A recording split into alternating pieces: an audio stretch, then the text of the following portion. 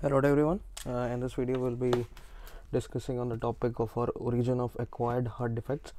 So the meaning is that the pathologies which are which are occurring uh, after the birth. Okay, so there can be many causes for development of this heart defects.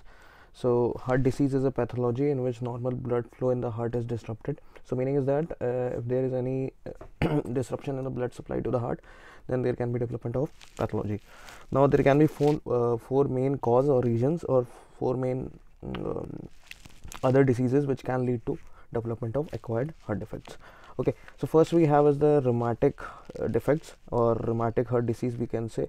So it is found against the background of rheumatic disease uh, disease and this is about 80% cases we see this rheumatic disease.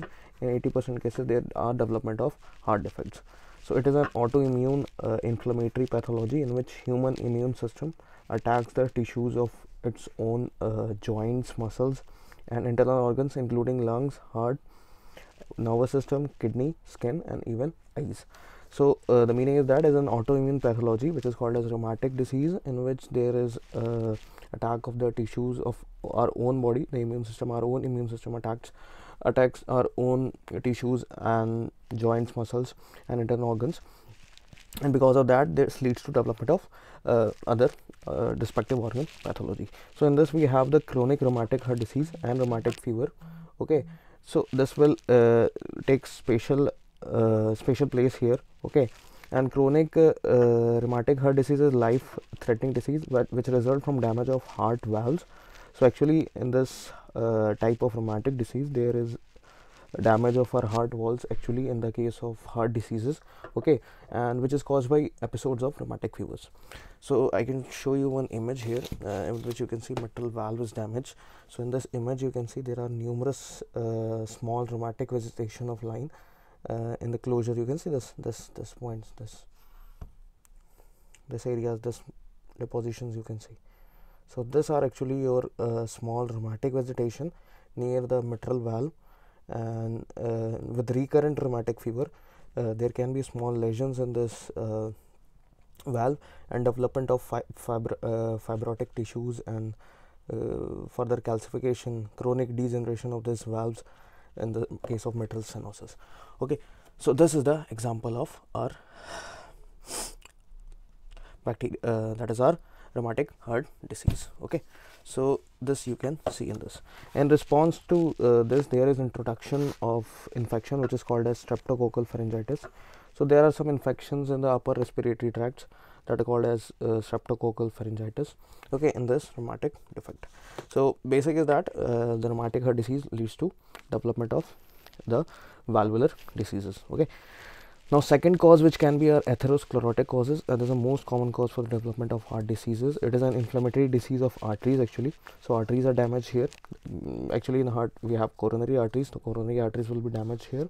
And there are characteristic changes we can see such as lipid and fibrous tissue under the lining of vessels. So inner lining of vessel we can see the plaques that are uh, formed from lipids or the cholesterol you can say this is a cholesterol deposition excess cholesterol in the body. Leads to the, the deposition of lipids in the vessels. And that can lead to the uh, development of atheros so atherosclerotic plaque. So the condition is called as atherosclerotic plaque. Now this plaque uh, leads to the narrowing of arteries. So because of that there is a narrowing of artery in the uh, blood, uh, artery of the heart and which can lead to decrease in the normal blood flow so there can be disruption of the blood supply to the heart and which can lead to uh, decrease of oxygen to the tissues and organs inside the heart and lead to development of ischemia in that region. Okay? So causes for this atherosclerotic we have like over overweight obesity we can say the person who has uh, high, high, high weight. Okay? Smoking uh, frequent smokers and use of oral contraceptives in females and low physical activity. So who are have stationary lifestyle okay sedentary lifestyle so they have development of this type of heart uh, cause. Now in atherosclerosis you can see atherosclerosis. So in this image you can see this is normal blood vessel okay. Atherosclerotic there can be plaque builds up on your vessel wall and the blood flow is reduced okay. And further plaque completely occludes the vessel and blood flow is blocked so if very major type of atherosclerosis is there then there can be permanent stoppage of blood flow. And if this is a mild mild not mild moderate. It can uh, slowly or chronic stage uh, develop chronic stage and chronic stage can develop lead to heart attack because of disruption of blood supply. Okay. So you can see this heart attack how heart attack occurs. So if there is no blood supply there can be de- death of the heart muscles. These are the healthy heart muscles. These are the death of the heart muscles. Okay so because of cholesterol plaque buildup here uh, blood clot blocks the artery okay? And because of blood uh, blood clot and plaques there is permanent disruption of the blood supply in the heart and can lead to the heart attack okay? Now decrease of the blood flow to the brain there can be development of cerebral ischemia also like the ischemia in the heart. There can be also development of uh, brain ischemia okay? In coronary artery it is there is a plaque and there is a pain in the heart on physical activity. If there is any plaque uh, starting of the plaque then the person can feel pain on the exertion or some physical activity okay? And when uh, he or she will come to the rest position then pain will be gone okay? Goes away on the rest as i have written. Now if this plaque bursts then can lead to the block of vessel and death of the heart muscle. And this death of the heart muscle can lead to the uh, pathology which is called as heart attack or sometimes death of the patient now after this attack there can be changes in the heart shape and chambers due to the compensation mechanism of the heart like ven- uh, ventricular like hypertrophy of the chambers okay? And valve cuffs uh, are not able to prevent backflow because of the wide- widening of the valve cuffs uh, valve cuffs and this can lead to the acquired heart defect. Further in valves there can be calcification after in chronic and later stages of development of after heart attack there can be deposition of the calcification in the aortic heart valve we can see calcification deposition okay? So these are the uh, things we will see in this case okay? In this diagram you can also see i have one more. So this is you can see the normal valve we have. I mean any any valve stenosis is there so the valve will be narrow close and open okay so heart valve has four valves as you know the tissue flaps that open and close as the heart beats. Okay if there is any abnormality calcification deposition then there can be a decrease of backflow of the blood. Blood will not supply to respective chambers equally and because of that there can be uh, the heart has to do hard work to pump the blood to the other chamber and because of that the valve will be weakened. So valve will become weak. Okay so this is the pathologies you will see in the heart and one more image you can see also. This is your heart and this is your diseased valve. This is your healthy valve. This is diseased valve and this is artificial valve artificial valve. You can see it here okay? Clear? Now we have the uh, th- third type of reason we uh, reason we can is endocarditis. Uh, that is a result of inflammation of inner lining of the heart okay endocarditis is usually divided into non-infectious and infectious uh, because of infection or non-infection. So more often we have non-infectious type okay? And this uh, uh, pathology often affects the valvular apparatus which can lead to acquired heart diseases okay? Acquired heart diseases. Now classification we have infective endocarditis we have acute we have subacute and chronic.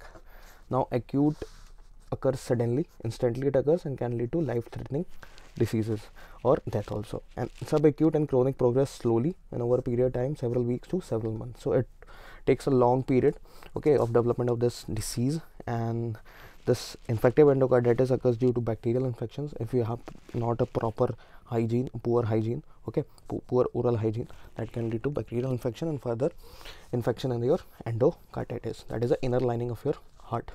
Now people uh, people who have valve surgeries are more prone to bacterial endocarditis who are have done with heart transplants at higher risk of infections. Symptoms you can see like patient can come with fever chills heart palpitations. You can see or uh, feel night sweats. In night there will be sweating.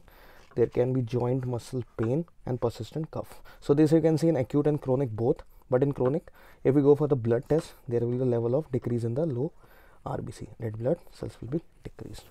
Okay so this are the you can see in the endocarditis. Now endocarditis this is a bacterial endocarditis. You can see this mitral valve here and this is aortic valve. So this development of your calcification of the bacterial endocarditis. Okay.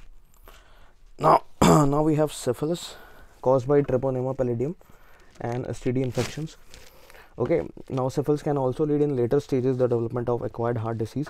So syphilis syphilis is caused by treponema pallidum and it is a sexually transmitted disease and characterized by firstly with skin lesions pathology of internal organs including acquired heart defects and further can lead to aortic insufficiency in later stages calcification and weakening of your aortic valves in the late stages of syphilis you can syphilis you can see. So these are the four main pathologies you can see.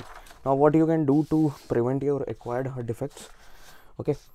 First you the person should stop smoking. Excessive alcohol consumption should be stopped. Engage in physical activity. Go for the physical activity at least for 30 to 60 minutes in a day.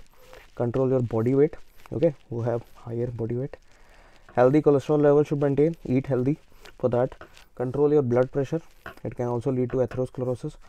Stress take less stress manage your stress and regular your health screening so at regular intervals do the health checkup from your doctors. Okay so these are your the, uh, the four main causes. As i told you the first one is rheumatic heart disease. Second is your atherosclerotic atherosclerosis. Third one is your endocarditis. Fourth one is your syphilis. Okay so this was your origin of your acquired heart defects. Thank you